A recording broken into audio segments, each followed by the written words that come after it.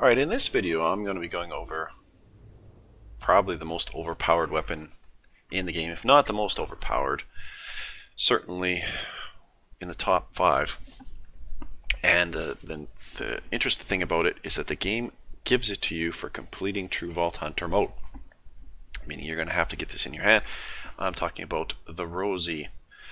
It does come in all four elements, so you can get it in shock, fire, freeze, or or or uh, corrosive. If you want to get all four, you do have to reload your saves um, or dashboard out if you're in 360 um, because you of course will only get it once. So I wanted to get all four. But so I did that. I reloaded my save to make sure I got all four. Um, I think personally shock is the best one but they all are are absolutely uh, incredibly overpowered. And what makes them amazing all the Maliwan lasers have this continuous damage bonus, but the Rosie gets a 500% one. Normally that's 100 to a top topped out level of 200. So it gets 500. So again, at first glance you think, oh, that's nothing too special. 1,000 uh, damage for a laser is about right. You know, nothing special for accuracy or fire rate or magazine size or anything like that. Um, but when you actually go to use it, this 500% bonus, which means instead of doing a thousand, you're doing about 5,000. And then all your skills and gear and stuff that can boost that even higher to crazy amounts. So let's show off what that looks like here. Let's do two moon buggies. Uh, we got a red one and a blue one. And we're going to bring out a purple Hyperion laser, which is pretty similar type of laser. It's a, it's a it's a continuous laser, just like the at how much the and this is again keep in mind this is a purple laser, which means this is an amazing weapon in and of itself. It does a little bit more less damage if we compare the two.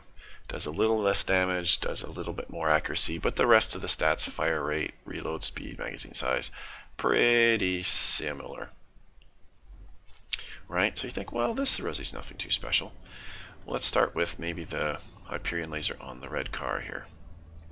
Let's see, we're doing 500 damage, but very rapidly. But watch.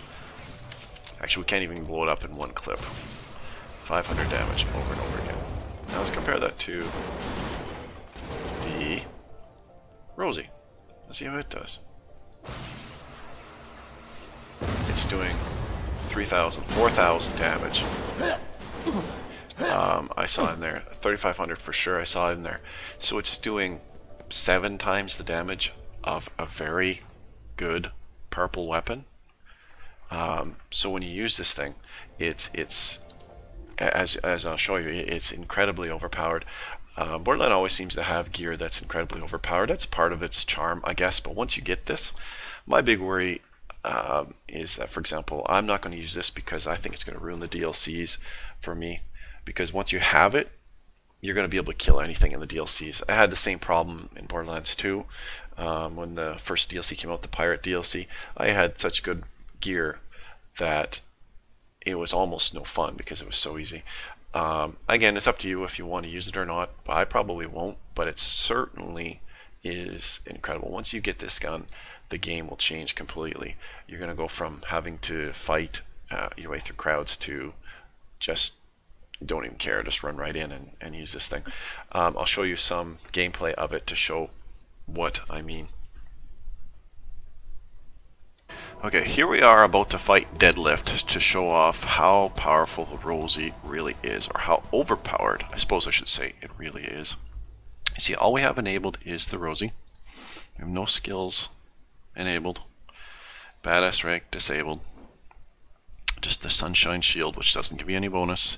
Grenades I won't use. Invigoration Oz Kit, no, nothing special there. My class mod, nothing special there. Skills are disabled. Anyway, so let's go see how we do with the Rosie.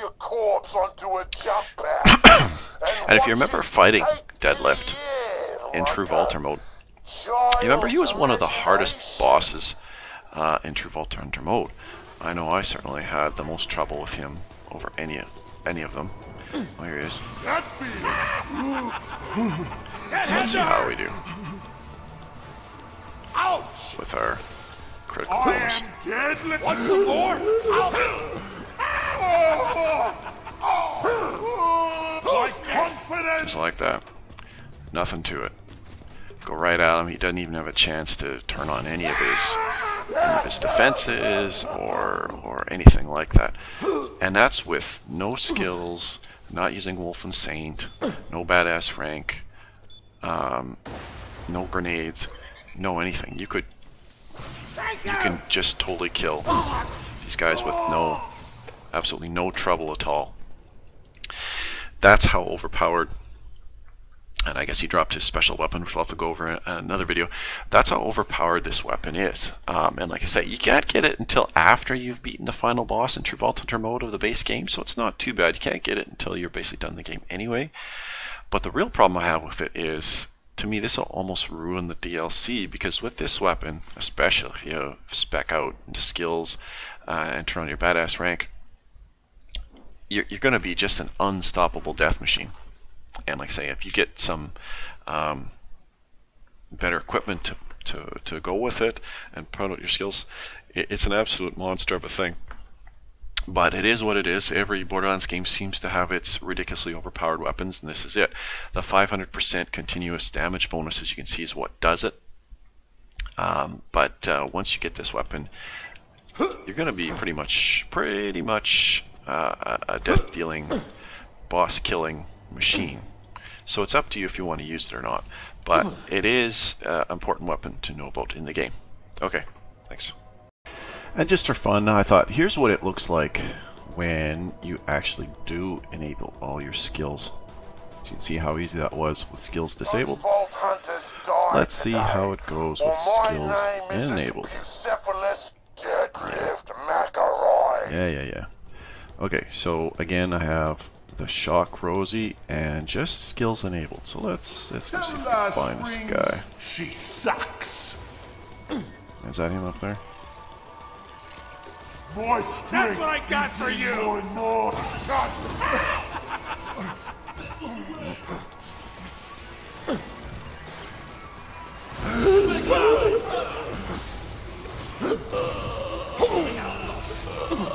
My confidence. Just like that.